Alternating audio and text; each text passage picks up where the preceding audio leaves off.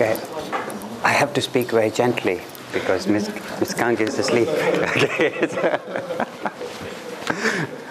Okay. okay, today's, uh, today's lecture is about uh, interfaces. And uh, we're going to deal with the structure of an arbitrary interface. You know, we've, we've done a very, very simple tilt boundary. But if I gave you just any two different crystals and joined them up together, how would you calculate a possible dislocation structure of the boundary? Okay?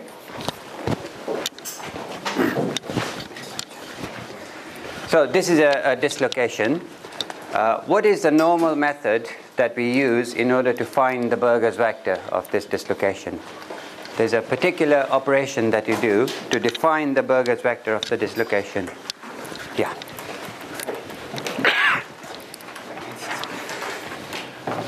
Any ideas? Uh, what, what is the formal way of defining the Burgers vector of the dislocation?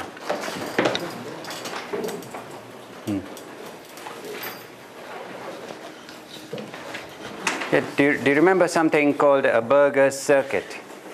Yeah? So what we do is we draw a pattern in the undistorted part of the crystal and then we draw exactly the same pattern in the distorted part and the closure failure of that gives you the Burgers vector. So here for example is a right-handed pattern which uh, I'm drawing in the perfect part of the crystal it's already dimmed. And now I'm going to draw the same pattern. In other words, go three steps upwards, four this way, three down, and four this way in the distorted part of the crystal here. So there we go. Um, start from here, here, here. Exactly the same operation leaves a gap. Okay, and that's called the closure failure, and that defines the Burgers vector of the dislocation, right? Now, we are going to do the same thing for an interface because the interface contains dislocations.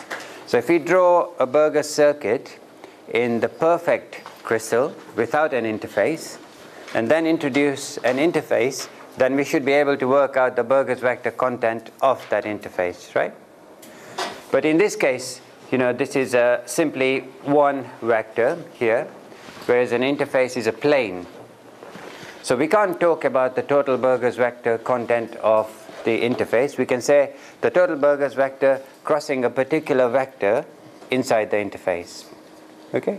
And if I change the orientation of that vector, the Burgers vector of dislocations crossing that vector will be different. Yeah? So if I have, have only one set of dislocations in the interface, then clearly there are no dislocation, there's no Burgers vector content parallel to the line vector if these are edges, right? So in a plane, we also have to define the orientation of the vector along which we are counting the Burgers vectors of dislocations. Okay, so let me illustrate that. So we're going to use exactly the same kind of procedure to define the Burgers vector crossing a particular vector in the interface. So this is my interface here, and these are two arbitrary crystal structures, all right? So I haven't said that it's cubic F or whatever. They can be completely different. They need not be the same crystal structures. And I'm defining a Burgers circuit. This is crystal A and this is crystal B. And I simply define a Burgers circuit around the interface, okay? So I've started by defining it around the defect. And this is simply a vector inside the interface, OP. Now, in order to define the same circuit in the perfect crystal, I've got to get rid of the interface, right? The interface is the defect. So what I do is I deform this into this crystal using, uh, using the deformation ASA to the minus 1. ASA transforms A into B. So if I want to change B into A and eliminate the interface, then I multiply by this deformation matrix, right? So when I do that, I cre create the perfect crystal without any interface, right? And the vector OP becomes OP dashed here by the deformation ASA to the minus 1, and that is my closure failure. Yeah? Do you see? This has no defect in it. But if I apply the same deformation to the whole of the circuit, I will get this as the closure failure. This part doesn't get deformed because it was already in A. Yeah? So we've done the same operation that we defined a circuit around the interface and we are observing a particular vector P inside the interface. We deform this crystal so that it becomes this one and the interface disappears, right? If these were two identical crystals, we could just rotate. Yeah, and a rotation is a kind of a deformation. Yeah? So we eliminate this crystal, the interface disappears, and the vector P becomes the vector P dashed, and we've got this extra bit, which is the total Burgers vector content crossing the vector P. Is everybody happy with that? So that's the total Burgers vector content. Uh, you know, if there are 10 dislocations crossing the, the vector P, then it's 10 times the Burgers vector of an individual dislocation. Okay?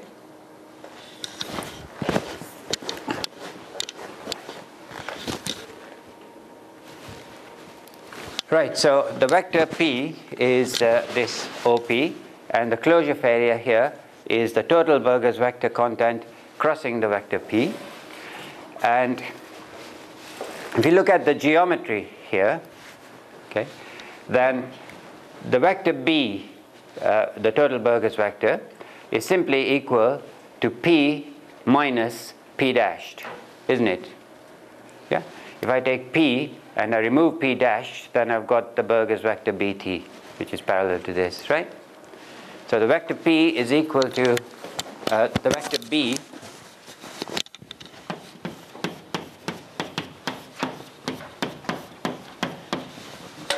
Yeah, just from geometry. Everyone happy with that? So here's the vector P. If I multiply AP by the identity matrix, yeah? And here's the vector P dashed. And that gives me the total Burgers vector crossing the particular vector P in the interface. Okay? So this is my equation which defines the Burgers vector at any arbitrary orientation in the interface.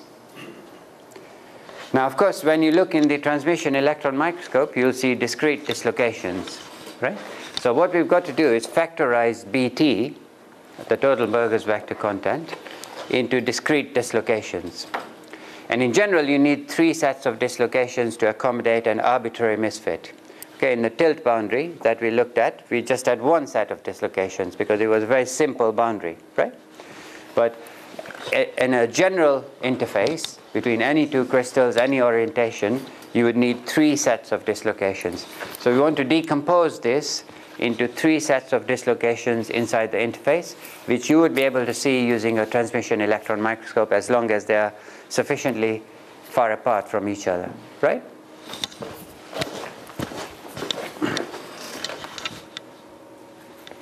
Okay, so this was uh, our uh, ordinary tilt interface, very, very simple. You know, we are tilting about the line vector, and from simple geometry, we obtained the distance between dislocations as a function of the Burgers vector and the misorientation angle. And we would now want to do it generally for any interface, in which case BT will in general consist of three sets of dislocations, B1, B2, and B3. Okay, so that, that's what we are going to do next decompose BT into three sets of dislocations.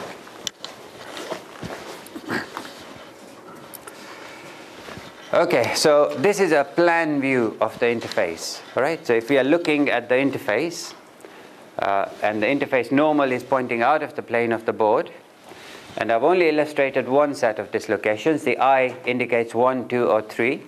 Then these are the line vectors of the dislocations here. Okay.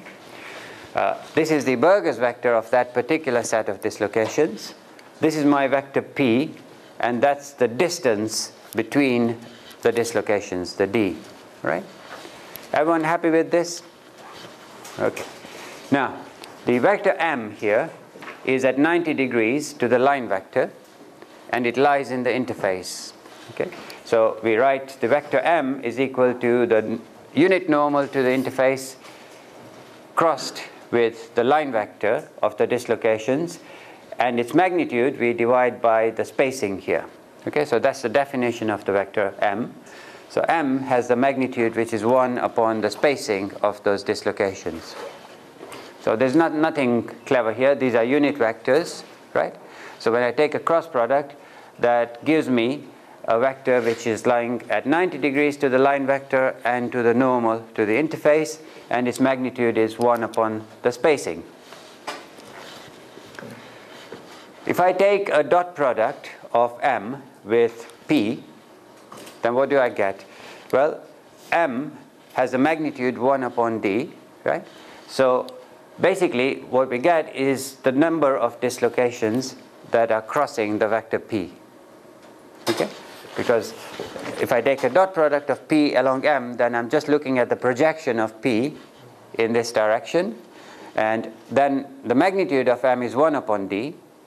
So P dot M is simply the number of dislocations crossed by the vector P. Okay? So P crosses M dot P dislocations and the total Burgers vector content for this set of dislocations, if i is 1, is simply given by the number of dislocations crossed by p times the Burgers vector. And if there is another array of dislocations and a third array of dislocations, then we add these up as well. Okay? So we haven't uh, at the moment calculated what these quantities are, but this is just a formal uh, expression for the total Burgers vector content in terms of the number of these dislocations times their Burgers vector plus the number of these dislocations times this and so on. Okay?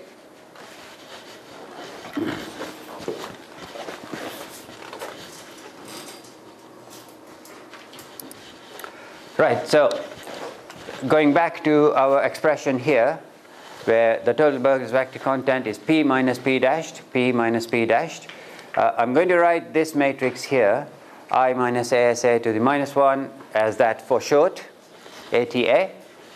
And again, this is just repeating our equation. And here we have the expanded form of uh, this equation that m, which is written in the reciprocal basis, times p times b1 plus m2 times p times b2, blah, blah, equals ATA times AP. Okay, ATA times AP. Yeah. So this is just the expanded form of the same equation. Okay?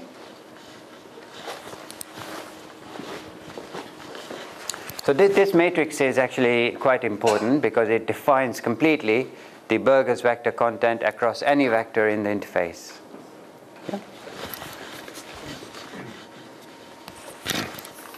So I'm now going to uh, define this, this vector here exactly as we define reciprocal lattice vectors for the unit cell. B1 star is equal to B2 star, B2 cross B3 over the volume of the cell formed by B1, B2, and B3. And take a dot product between this and this. Okay? So if I take a dot product between this and this, then this will be 1. Yeah? This will be 0, and this will be 0. Yeah? So B1 times this here, ATA times AP will simply equal to M1 times P. Okay? So we, we've lost these terms completely. Yeah? So if I, if I dot this with B1 star, then B1 star dot B1 is 1, and therefore we end up with just this part here which is M1 dot P. Okay? Is everyone happy with that?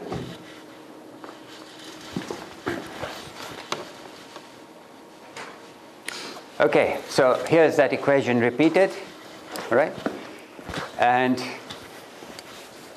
I'm now going to say that the vector p in my interface is the line vector. Okay, I can, I can, I can choose any vector p in the interface for this equation, yeah?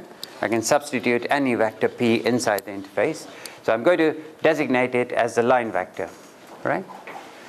So I've got b1 times ATA and the line vector equals 0. Now why is that 0?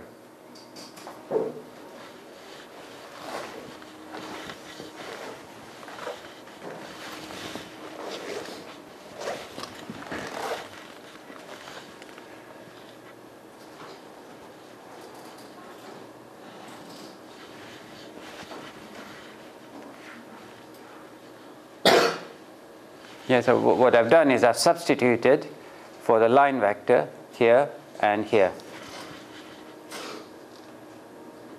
Substitute P for the line vector.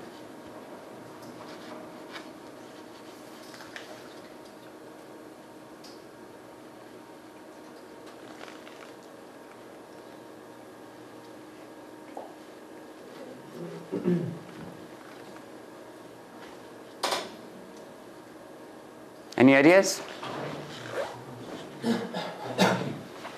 Yeah? Yeah, look, look. M and L are normal to each other, right? M is the distance between dislocations, so it's got to be normal to the line vector, right? Therefore, M dot L will be 0. Okay? So I've got this B1 into this equals 0. If I take the transpose of that, then this becomes a row vector, that's the transpose of this matrix, and this is the transpose of this matrix.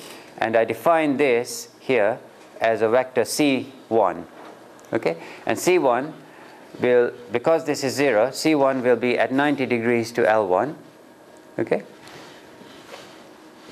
Okay, so I've defined another vector C1.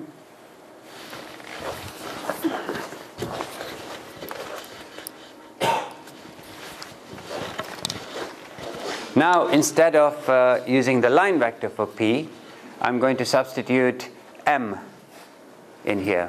Okay? So for both of these P's, I substitute M. So M1 times M1 is simply the magnitude of M1 squared, the dot product between M1 and M1. So this part here is equal to the magnitude of M1 squared. So in other words, what we are saying um, okay, so this, this is simply the um, transpose of this, okay? And therefore I can write m1 into c1 is equal to the magnitude of m1 squared, okay? m1 dot c1 is the magnitude of m1 squared. Now you can see that c1, if I project it along this axis, then its magnitude will be m1, yeah? And then I multiply by m1, then it's just the magnitude of m1 squared. Yeah. So we've got this geometry illustrating the normal to the interface, the line vector, the distance 1 upon the spacing of the dislocations, and this is this new vector C1 that we've defined. And just by geometry, uh, this, this vector here will be C1 dot n, which is this distance here. If I project C1 along n, yeah, then that's just C1 dot n, and that's a magnitude, and it's along the unit vector n. So, so you, you can see how this vector is derived, right? So this defines the complete geometry of this system.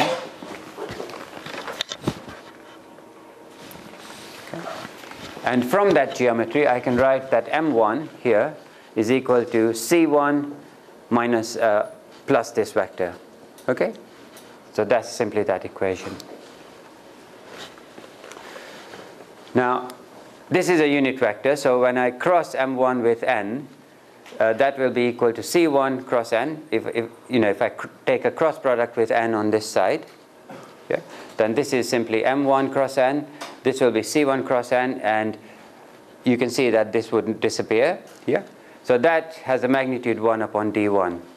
So once I've got my vector c1, I've solved the spacing between dislocations. Okay.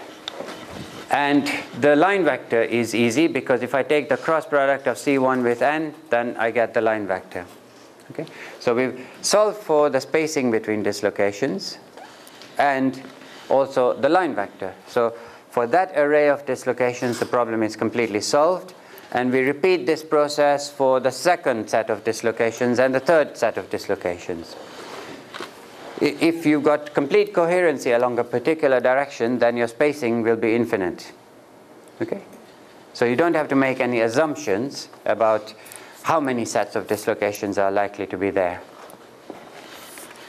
So we've solved for the structure of the interface in terms of three sets of dislocations. Now, one thing that I didn't mention at the beginning is that you have to begin with the assumption of the Burgers vectors.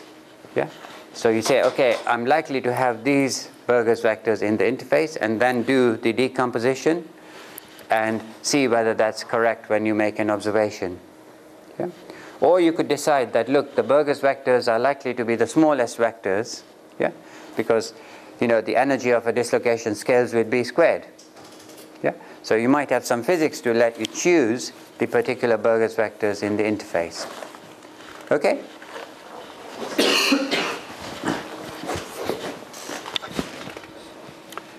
yeah, so this vector C1, okay, so we've got a very simple equation here of the line vector and the magnitude uh, or the distance between the dislocation. And this vector C1, all you need is that deformation matrix, you know, ATA is equal to I minus ASA to the minus 1, yeah? And the transpose of that is AT dashed A. And this is straightforward to calculate, B1 star.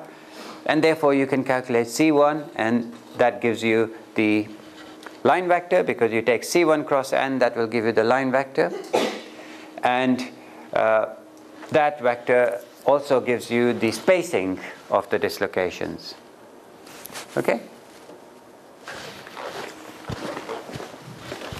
So we've solved the problem for a completely general interface. Okay? Right, now I'm going to just show you a little bit more about coincidence site lattices. You remember this um, little movie where we have uh, a hexagonal crystal, we slice it in half in the plane of the board, and we rotate one half with respect to the other, keeping the origin fixed. Yeah?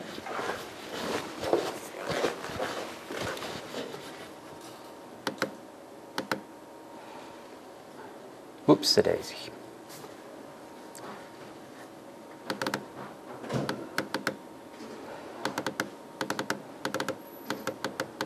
I just want to preserve the pattern. That's why I'm starting, whoops, here. Okay, so, so you can see that, uh, you know, at particular orientations, you get coincidence. Yeah?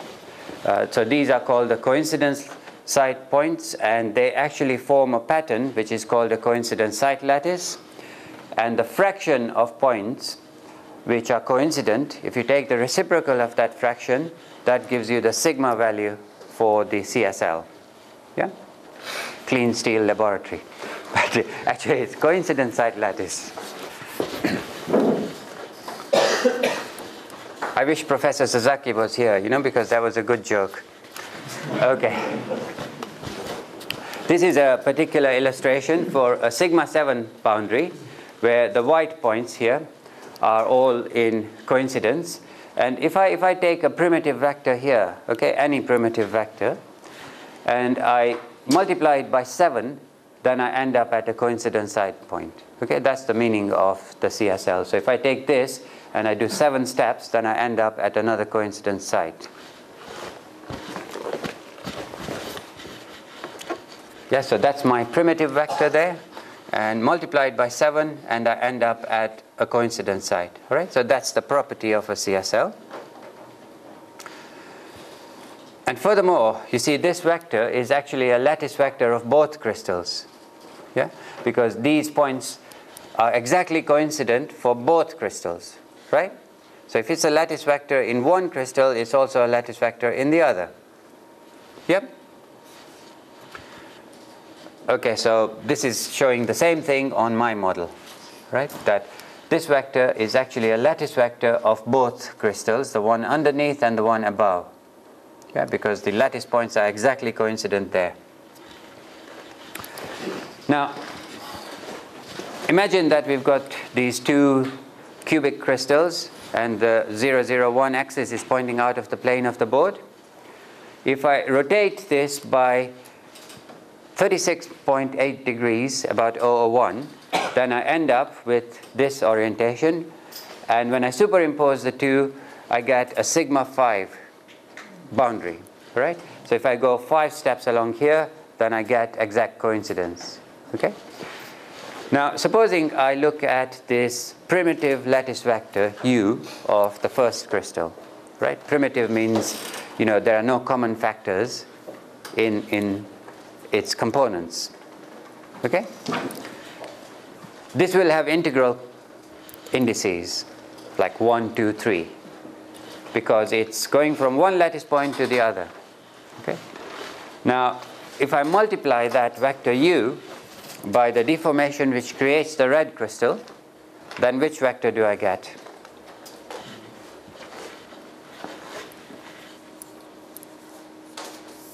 There's only one other vector illustrated on the diagram.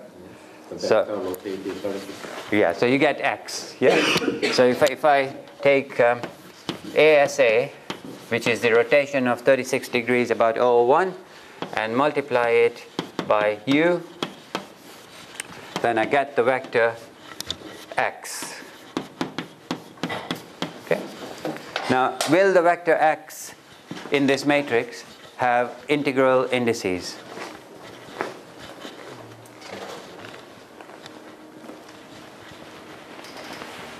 No, because you can see it doesn't, it starts over here, but with respect to the black crystal, it, it ends somewhere in the middle, yeah? So it's not a lattice vector of crystal A. How about if I wrote, um,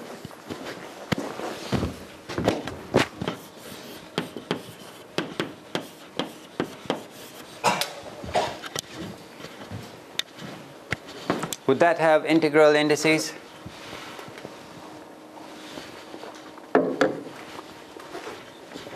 So B is the red crystal.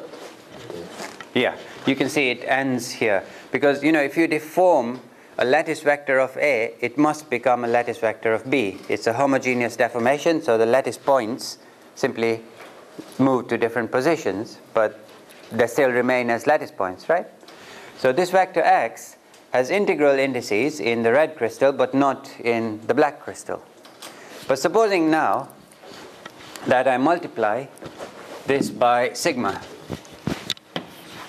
In this case, sigma is 5, right?